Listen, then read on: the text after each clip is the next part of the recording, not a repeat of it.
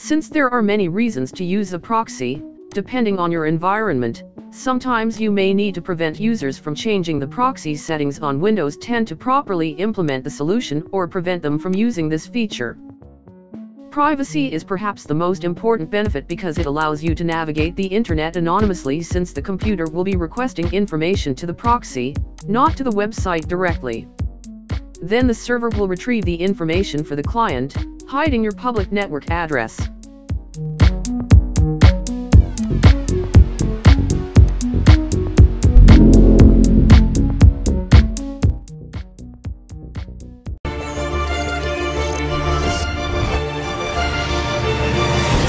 to Newbie Computers channel.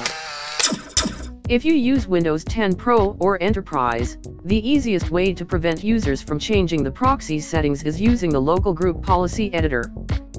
Search for gpedit.msc and click OK to open the local group policy editor. Browse the following path, User Configuration, Administrative Templates, Windows Components, and then Internet Explorer.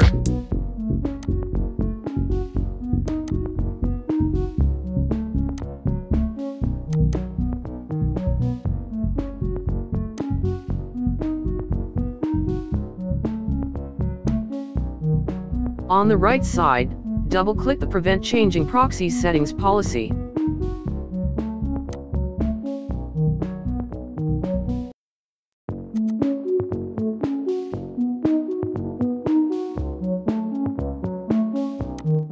Select the Enabled option.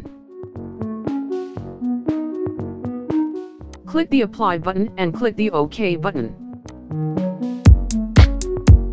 Once you complete the steps, the proxy settings available in the Settings app and through the Internet options will no longer be available to users. If you have previously set up a custom proxy configuration, it will still be available, and users won't be able to change it.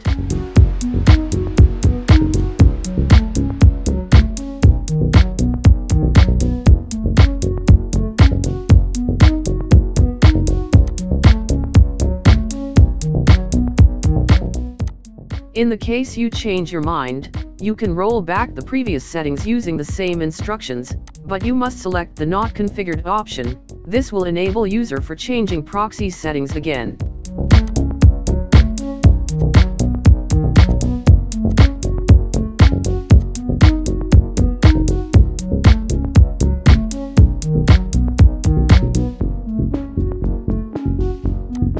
If you find this helpful, please like and subscribe. Thank you.